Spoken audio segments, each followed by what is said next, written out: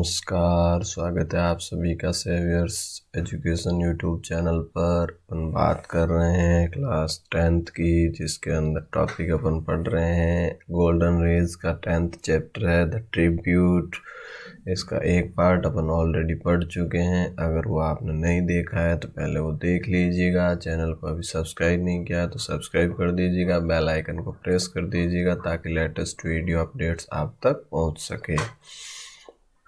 अभी तक अपन ने पार्ट वन में पहुँच अभी तक पढ़ा कि किस प्रकार से जो है गाँव से आया हुआ एक बंदा जो है सब शहर में उसकी सर्विस लग जाती है, नौकरी लग जाती है। दो साल तक गाँव में कोई कांटेक्ट नहीं हो पाता है और एक दिन उसको अपने भैया का पत्र मिलता है जिसमें कि उसको गाँव बुलाया गया है और गाँव बुलाने का कारण ये है कि पीछे जो दो भाई गाँव में रहते हैं, उनकी पत्नियों में आपस में झगड़ा हो गया और अब दूसरा जो भाई है वो बंटवारा चाहता है और बंटवारे में उसका वहाँ होना ज़रूरी है।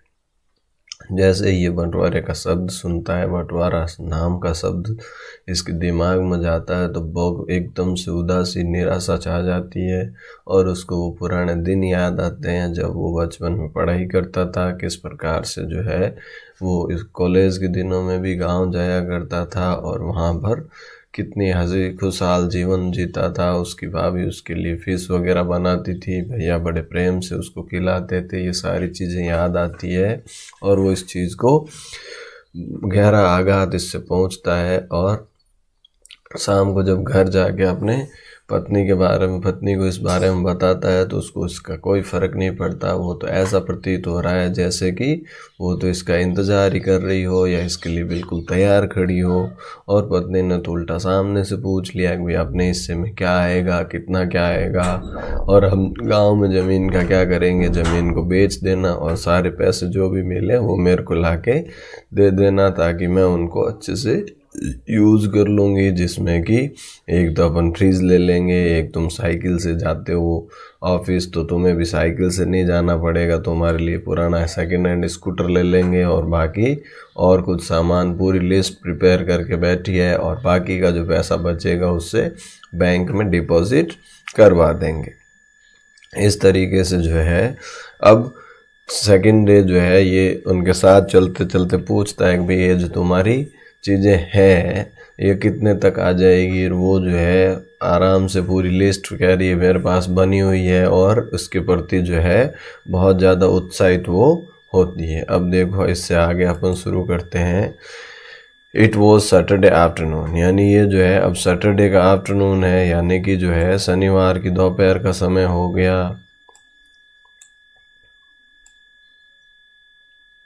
I left for my village और मैं अपने गाँव के लिए निकल गया। भाई सैटरडे की दोपहर का समय मैं अपने गाँव के लिए बस में रवाना हो गया, जिससे कि गाँव में रवाना हो गया।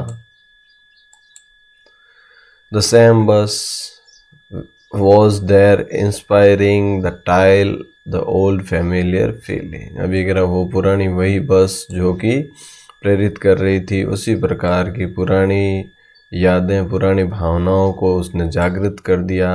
I rush to occupy the seat just behind the driver और मैं तेज़ी से भागा ड्राइवर के पीछे वाली सीट पर बैठने के लिए।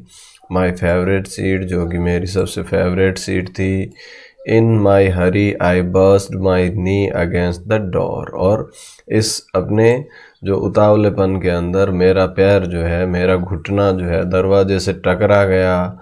इट हर्ट मी इससे मुझे चोट लगी।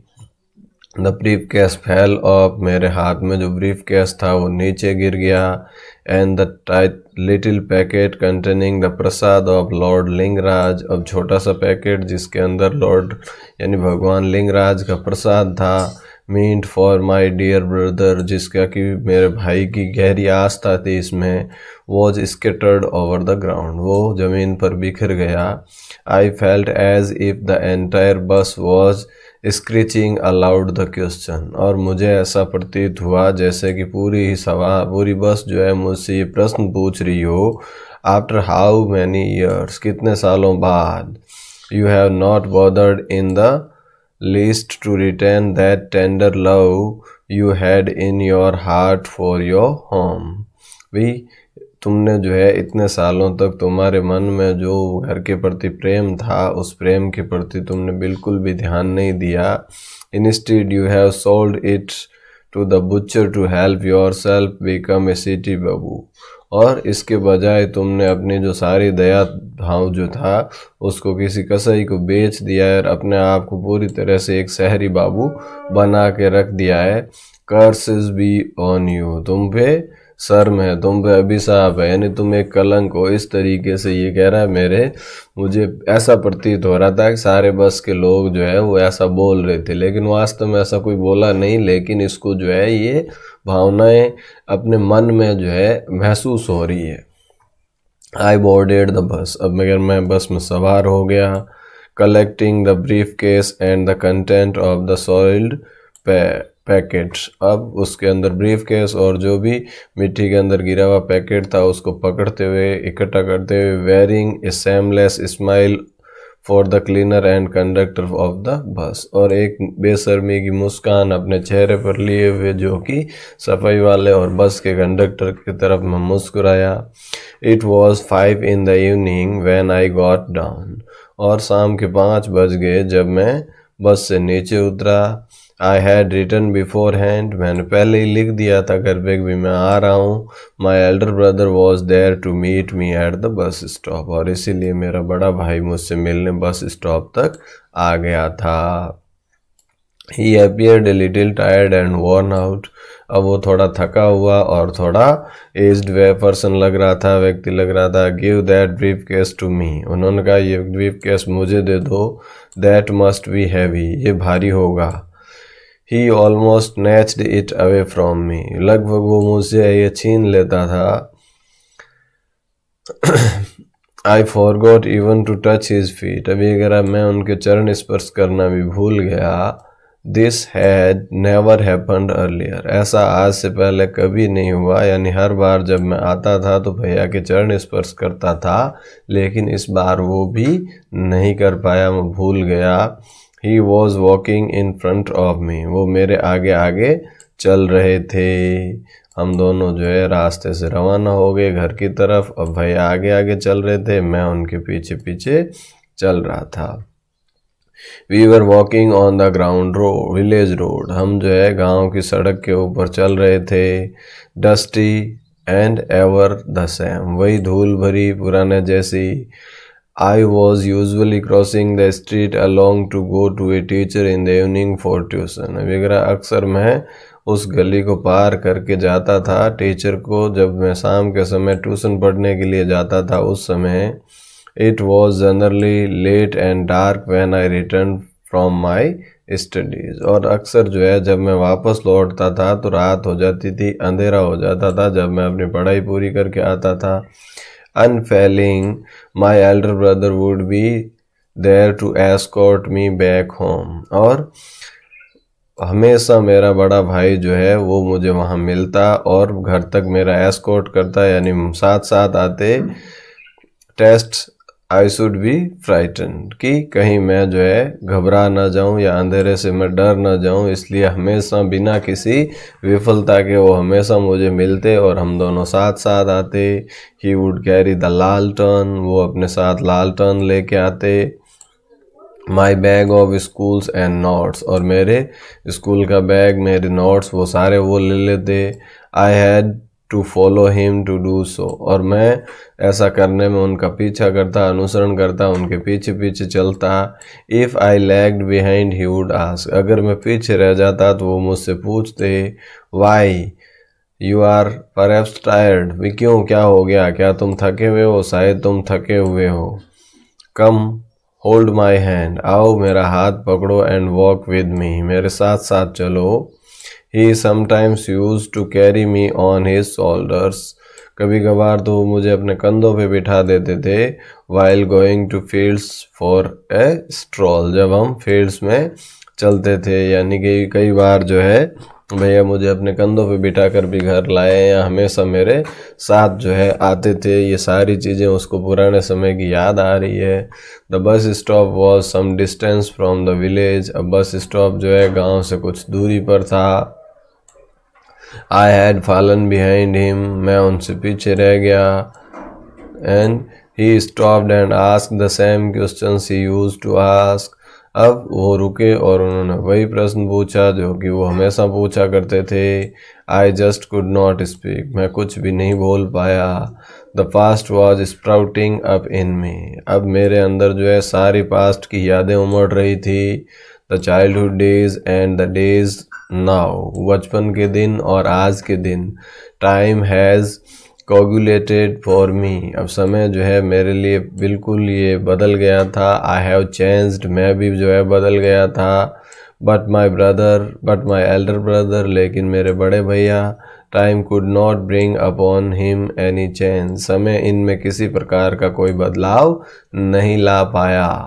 As in those days he was still walking in front of me carrying my bag in those days यानी उन दिनों, वो अभी भी जो है, मेरे आगे मेरा बैग लिए हुए चल रहे थे। आई फेल सो स्मॉल मैं अपने आप को बहुत ज़्यादा तुच्छ, छोटा समझ रहा था। हेजिटेटिंगली आई सैड अब हिचकिचाते हुए, संकोच करते हुए मैंने कहा brother give me that brief case ये ब्रीफ केस मुझे दे दो. Let me carry it for a while इसको कुछ देर मुझे लेने दीजिए. Don't you worry he said उन्होंने कहा, चिंता मत करो. It's heavy and you are tired भाई, ये भारी है और तुम थके हुए हो, मैं ले लूँगा, तुम इसकी चिंता मत करो। लेट्स क्विकन आवर स्टेप्स चलो, अपन अपने कदमों को तेज़ करते हैं। You must be feeling hungry तुम्हें भूख लगी होगी तो चलो, तेज़ चलते हैं, जल्दी जल्दी चलते हैं। It is time for the evening meal शाम के खाने का समय हो गया है। I followed him in silence और मैं चुपचाप उनका पीछा करता रहा, यानी उनके पीछे पीछे चलता रहा। वी रीच्ड होम हम घर पहुँच गए। इट वॉज़ ऑलरेडी डार्क अंधेरा पहले से ही हो रखा था। The time for the lighting of wicks before the sacred tulsi plant और तुलसी प्लांट के सामने जो है, लालटन यानी लाइट रखी हुई थी। Unlike those days, none of my nephews rushed towards me howling. और उन दोनों की तरह कोई भी मेरा भतीजा, भतीजी जो है दौड़ कर मेरी तरफ़ नहीं आए। ये कहते हुए हैरिज अंकल अरे चाचा जी आ गए। My sister in law did not run from the kitchen to receive me मेरी भाभी जी भी जो है रसोई घर से मुझे रिसीव करने नहीं आई। I was all quiet and calm मैं बिल्कुल शांत था, चुप था। Only my mother came and stood near me सिर्फ़ मेरी माँ आई और मेरे पास खड़ी हो गई। The second brother and his wife were nowhere to be seen और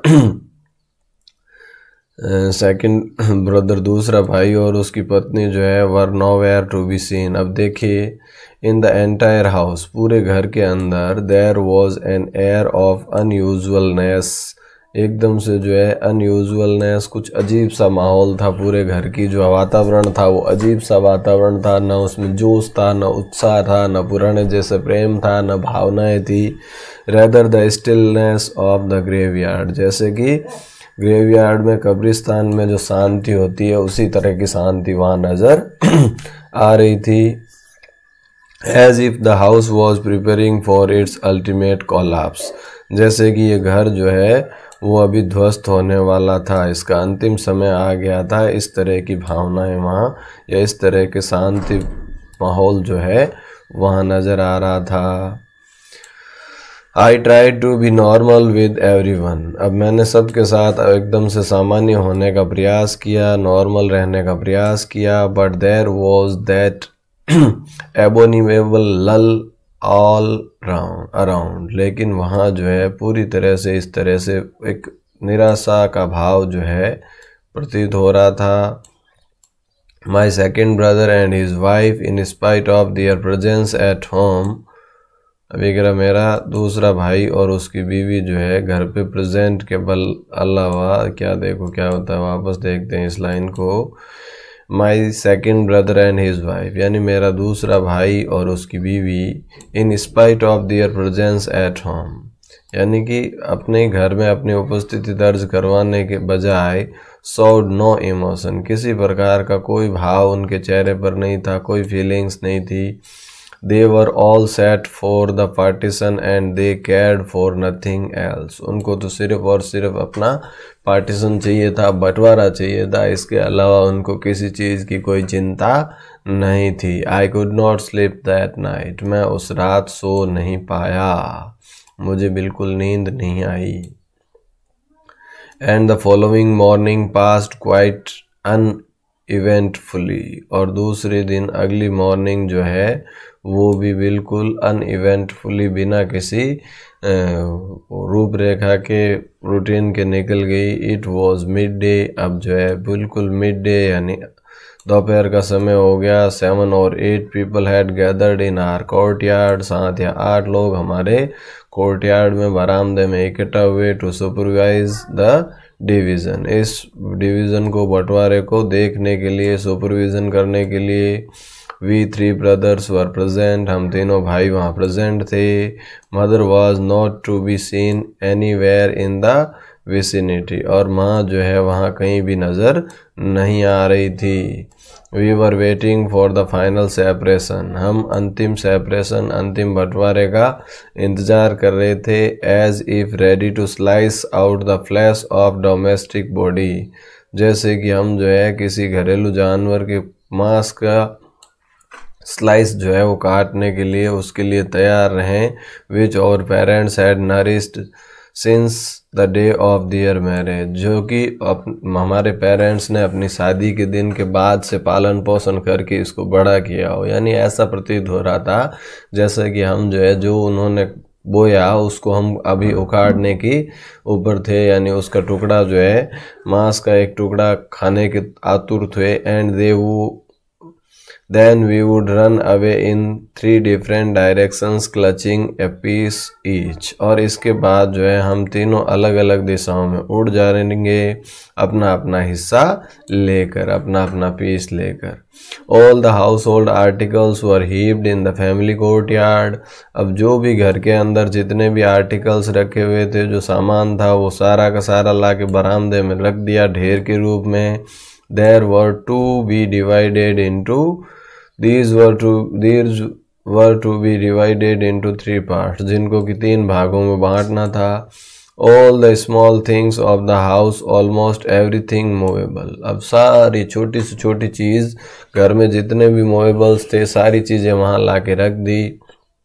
Starting from a ladles made out of coconut shell अब ये कह रहा है, यहाँ तक कि जो लेडल था वो जो कोकोनट सेल से बना हुआ था, यानी कि वो चावल का बनाने का and the bamboo to the little box और बाँस का बना हुआ छोटा सा box where father use to keep his bat betels जहाँ के पिताजी अपने पान रखते थे, सारी चीज़ें the axe and the old radio set too had been produced वगैरह कुलाड़ी और पुराना एक रेडियो सेट जो था रेडियो जो था, वो भी वहाँ रख दिया। A long list of all the items was made सभी आइटम्स की एक लंबी लिस्ट बनाई गई। नथिंग वॉज़ स्पेड कुछ भी नहीं छोड़ा गया। ना इधर द ढिंकी। ढिंकी क्या है? वुडन राइस क्रसर यानी कि राइस को, चावल को क्रश करने की जो आती है वो nor the little finger of the family idols और न ही कोई जो है figure of the family idols किसी परिवार की तस्वीर तक जो है वो सारी ला के वहाँ रख दी थी। आई सा माई एल्डर ब्रदर राइज अब मैंने देखा कि भाई मेरे बड़े भाई जो है वो उठे। He stopped for a moment near the pile of the things कुछ क्षण वो जो है उस ढेर के पास रुके and unfasten the strap of his wrist watch और अपनी कलाई पे बंधी हुई घड़ी का जो पट्टा है, जो स्ट्रैप है, उसको जो है खोला and placed it on the heap और इसको भी अपने ढेर के ऊपर रख दिया द अदर थिंग्स दूसरी चीज़ों का सामान बड़ा था, उसमें उन्होंने अपने हाथ की घड़ी भी खोल के उसमें रख दी। Perhaps a tear trickle down his cheek और शायद उनके आँख से जो है आँसू टपक पड़ा with a heavy sigh he left the place और बहुत भारी मन से, भारी आह के साथ वो उस जगह को छोड़ के चले गए I had often heard my say him say that father had brought him that wrist watch when he was in the 11th class. मैं अक्सर सुना करता था, जब वो कहते थे कि ये घड़ी उनको उनके पिताजी ने दिलाई है, जब वो ग्यारहवीं क्लास में पढ़ता था। But I also remember well in my M A final year he had more the, that watch to send me money to go to Delhi for an interview लेकिन मुझे ये भी याद है कि जब मैं एम ए फाइनल ईयर में था और मुझे इंटरव्यू को जाने के लिए पैसों की ज़रूरत थी, उस समय भैया ने इसी घड़ी को मॉडगेज यानी गिरवी रख दिया था और मुझे पैसे भेजे थे। He had sent me an amount of one hundred and fifty rupees और उन्होंने जो है मुझे एक सौ पचास रुपये का अमाउंट भेजा था। आई रिमेंबर क्लियरली मुझे आज भी स्पष्ट याद है। No one knows whether the wrist watch would come back to him or not अब उस समय कोई नहीं जानता था कि ये रिस्ट वॉच वापस उनको मिलेगी या नहीं। His action seemed symbolic on his snapping all his attachment with the past. और उसके एक्शन जो है, ये संकेत थे उनके, ये जो हाव भाव है, ये उनका या अभी जिस प्रकार का उनका बर्ताव है वो ये दर्शाता है कि उनका कितना अटैचमेंट है, कितना लगाव है उन पास्ट की मेमोरीज़ का, यानी कि जो बीत गया उसमें जो यादाश्त है, वो गहरी जड़ें अपनी जमाए हुए हैं उनके हृदय में और इसी कारण से वो वहाँ नहीं रुक पाए, वो इस चीज़ को नहीं देख पा रहे हैं। आई वो साइलेंट मैं बिल्कुल चुप था। My elder sister in law was in the backyard मेरी, जो एल्डर सिस्टर इन लॉ यानी बड़ी भाभी जो है, वो पीछे जो है, बैकयार्ड में थी। My second brother was often whispering things into his wife's ear और मेरा जो दूसरा भाई है, वो अक्सर अपनी पत्नी के कान में कुछ फुसफुसा रहा था and there were talking taking his place with us और वो वहाँ जो है बैठे, आपस में बात कर रहे थे। I was like the butcher's knife going to stone to sharpen its और मैं, ऐसा लग रहा था, मैं उस कसाई के चाकू की तरह अपने आप को महसूस कर रहा था, जिसको कि पत्थर के ऊपर जो है तेज़ किया जा रहा था, उसकी धार दी जा रही थी। The elder brother was calm and compose अब बड़े भाई जो है बिल्कुल शांत और एकदम से स्थिर बैठे हुए थे। Like a perfect gentleman he was looking at the proceedings dispassionately exactly as he had done on the day of the sacred thread ceremony of his son और and on the day of my marriage अभी मेरा भाई जो है बड़ी शांति से एकदम स्थिर बैठे थे, जिस प्रकार से कि इनके बेटे की जो सेक्रेट थ्रेड सेरेमनी थी, पवित्र थ्रेड सेरेमनी जो थी, उस यानी कोई भी परिवार के अंदर जो पूजा पाठ वगैरह था, उस दिन बैठे या जिस तरह मेरी शादी वाले दिन बैठे थे, उसी प्रकार से वो बिल्कुल शांत, गंभीर मुद्रा में बैठे हुए थे। It was the same preoccupied and grave manner. और आज भी उनका जो तरीका था, वो बिल्कुल गंभीर और पहले जैसा ही था attending sincerely to his duty बड़ी शालीनता से अपने कर्तव्य का निर्वहन कर रहे थे। While discussing anything with my second brother he had that same calm and compose voice और मेरे दूसरे भाई से बात करते समय डिस्कस करते समय भी उनमें जो है वही शांत और बिल्कुल गंभीर आवाज़ थी। नॉट साई ऑफ़ डिस्कस्ड और रिग्रेट एक भी संकेत जो है, वो किसी प्रकार के पश्चाताप का या रिग्रेट का या डिस्गस्ट या नाराज़गी का नहीं था। I remembered the year father died अब मुझे याद आया वो साल जब पिताजी की मृत्यु हो गई थी। We had to live under a great financial strain हमें बहुत गहरी आर्थिक जो समस्याएँ हैं, उनसे जूझना पड़ा था। इट वॉज़ विंटर वो सर्दी का मौसम था। The chill was as its height यानी कि बहुत ज़्यादा ठंड थी। ठंड अपने पीक टाइम पे थी, बहुत ज़्यादा ठंड थी। We had a limited number of blankets हमारे पास सीमित मात्रा में घर में कंबल्स थी। The cold was so biting अभी ठंड बहुत ज़्यादा तेज़ थी पर्टिकुलरली एट मिड नाइट विशेषकर आधी रात के समय। That one blanket was not enough for one इतनी तेज़ कि वे एक कंबल, एक आदमी के लिए पर्याप्त नहीं थी, कंबल में से भी सर्दी महसूस होती थी। That night I was sleeping in the passage room उस रात मैं जो है पैसेज रूम के अंदर सोया हुआ था। When I woke up in the morning जब मैं सुबह को उठा I found my elder brother's blanket on me मैंने अपने बड़े भाई की कंबल भी अपने ऊपर पाई, यानी कि उन्होंने जो एडेड टू माइन मेरे अलावा, मेरी जो कंबल थी, उसके साथ भाई ने भी अपनी कंबल मुझे ओढ़ा दी थी। Early at dawn dawn he had left for the fields without a blanket on his shoulders लेकिन सुबह को जल्दी वो खेतों में चले गए और बिना कंबल के, बिना कंबल को अपने कंधों पर डाले हुए, यानी इतनी सर्दी में भी जो है उन्होंने मेरी सर्दी का मेरा ख्याल रखा और खुद जो है बिना कंबल के ही खेतों में चले गए। If he had been asked why he would have surely said in his usual manner अभी अगर अगर उनसे पूछा जाता कि उन्होंने ऐसा क्यों किया तो वो उसी तरह से अपने उस पुराने अंदाज में जवाब देते that he did not feel cold कि उनको ठंड नहीं लगती। No I have a comfortable income अब मेरी आरामदायक यानी अच्छी खासी इनकम हो रही थी। Yet it had never occur to me to think of buying any warm cloth for my elder brother फिर भी मुझे कभी भी मेरे दिमाग में ये बात नहीं आई कि मैं अपने भाई के लिए कोई गर्म कपड़ा खरीद कर ला सकूँ।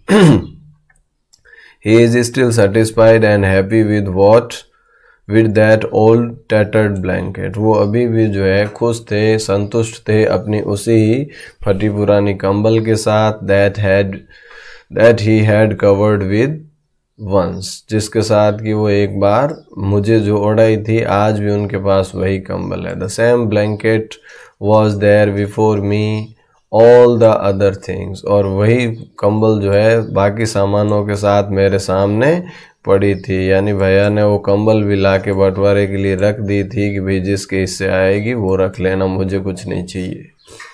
I shivered with the cold अभी अगर मैं ठंडी से काँप गया माई ओन इनग्रेटिट्यूड अब अपने खुद के उस कर्तज्ञ होने के कारण, यानी इतने उपकारों के बदले में कुछ भी नहीं कर पाया, यानी वो जो है कर्तज्ञ हो गया था तो इस कारण से जो है अपनी इस भावनाओं से ही वो काँप गया। The process of division was finally over और अंततः बंटवारे का जो प्रोसेस था वो पूरा हो गया, यानी बंटवारा कंप्लीट हुआ। Ever the second brother demanded my elder brother agreed to it with a smile जो कुछ भी मेरे दूसरे भाई ने मांगा, बड़े भैया ने बिल्कुल मुस्कान के साथ उससे सहमत हो गए, यानी उसको दे दिया। My second brother propose to buy the share of land that was given to me and offered eighteen thousand rupees as the price अब मेरा दूसरा भाई जो है, उसने मेरे हिस्से में जो ज़मीन आई थी, उसको ख़रीदने का प्रस्ताव रखा और उसके लिए अट्ठारह हज़ार रुपये कीमत जो है, उसने मुझे देने की बात की ऑफ़र किया। In the evening my elder brother took me along with him to show me the paddy fields that were to be mine और शाम के समय मेरा भाई मुझे उस अनाज के खेतों में लेके गया, जो कि अब मेरे हो गए थे। यानी बंटवारे के बाद मेरे हिस्से में आए थे। आई क्वाइटली फॉलोड हिम मैं शांति से बिल्कुल चुपचाप उनके अनुसरण कर रहा था। We move from boundary to boundary हम एक बाउंड्री से दूसरी बाउंड्री यानी चारों ओर चल रहे थे। Everywhere I could feel the imprints his feet और हर जगह जो है, मुझे उनके पद चिन्ह नज़र आ रहे थे। मैं उनके पद चिन्हों का अनुसरण कर रहा था, यानी वो आगे आगे चल रहे थे और मैं पीछे पीछे उनका अनुसरण कर रहा था। मैं उनके इम्प्रिंट्स को महसूस कर सकता था his palm and his fingers उनके हथेली, उनके अंगुलियों को on the bosom spark the pulse of my elder brother's sad sweat अब ये कह रहा है इनके जो bosom of the paddy fields यानी आज जो है ये पैडी फ़ील्ड अनाज के खेत जो है चमक रहे थे। इनमें जो मोतियों की जो चमक थी, वो मेरे भाई के पसीने की चमक थी। He was showing me the fields वो मुझे खेत बता रहे थे। As a father would introduce stranger to family members जैसे कि एक पिता जो है किसी अजनबी से अपने परिवार के सदस्यों को मिला रहा हो। In the morning I was to leave for Bhubaneswar. और ये कह रहे, सुबह के समय मुझे वापस निकलना था भुवनेश्वर के लिए। I had no courage to meet my elder brother मुझमें अपने बड़े भाई से मिलने की हिम्मत नहीं थी, यानी कि बिल्कुल भी मुझमें जो है इतनी हिम्मत नहीं थी कि मैं अपने बड़े भाई से मिल सकूँ या उससे बात कर सकूँ। Before leaving the bus stop I had handed over the same slip of paper to my elder sister in law अभी अगर बस पर बस स्टॉप पर निकलने से पहले मैंने वही कागज़ की स्लिप अपनी बड़ी भाभी को दे दी which had the details about my share जिसके अंदर मेरे शहर की मेरे हिस्से की सारी डिटेल्स लिखी हुई थी writing on the blank side of that sleeve उस, उसी स्लीव के खाली साइड में लिखते हुए I had asked her to deliver it to my elder brother and stealthily slipped out of our house और मैंने जो है उसके पीछे लिखते हुए वो जो है अपनी भाभी को पकड़ा दी और उनसे ये कहा कि भाई ये स्लिप जो है आप भैया को दे देना और स्टेल्थली यानी चुपचाप चोरी से जो है slipped out of our house चुपचाप चुपके से अपने घर से निकल गया। आई हैड रिटर्न मैंने उस स्लिप के पीछे क्या लिखा था देखो? ब्रदर यानी भैया what shall I do with the land मैं इस ज़मीन का क्या करूँगा? You are my land from where I could harvest everything in life मेरे लिए तो ज़मीन आप थे, जहाँ से कि मैंने अपने जीवन में जो कुछ भी पाया है, जो उपज प्राप्त की है, वो आपके कारण की है।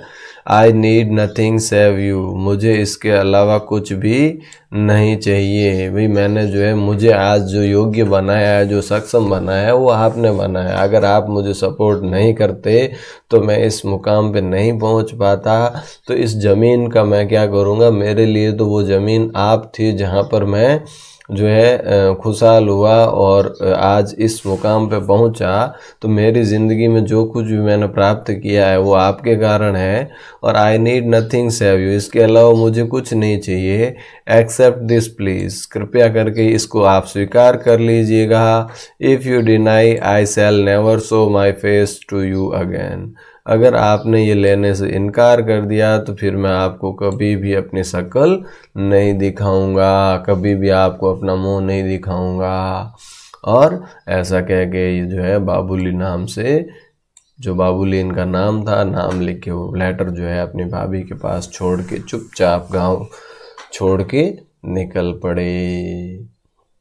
तो किस प्रकार से जो है ये संयुक्त परिवार जब टूटा और जब बंटवारा हुआ तो बंटवारे के बाद के जो डिसीजंस है, इसके ऊपर जो है ये चैप्टर था। आई होप आपको ये चैप्टर समझ में आया होगा और इसके अंदर जो छुपी हुई भावनाएँ हैं, जो भाइयों के बीच में आपस में प्रेम है और जो एक दूसरे के प्रति आत्मीयता है, इस संबंध को भी आप अच्छे से समझ पाएँगे और परीक्षा के हिसाब से ही नहीं, बल्कि आपके भावी जीवन में, व्यवहारिक जीवन में काम आने वाला चैप्टर है और इससे जो है आप अपने भविष्य में ज़रूर सीख लोगे और अगर आप संयुक्त परिवार में रह रहे हो तो एक दूसरे की राय मशुरा लेके ही कोई निर्णय लेते होंगे या एकल परिवार में है तो भी ज़रूरत के समय आप अपने परिवार के साथ ज़रूर खड़े होंगे। इसी आशा के साथ आज के इस सेशन को यहीं विराम देते हैं। मिलते हैं कल किसी अगले टॉपिक के साथ। तब तक के लिए थैंक यू जय हिंद, जय भारत।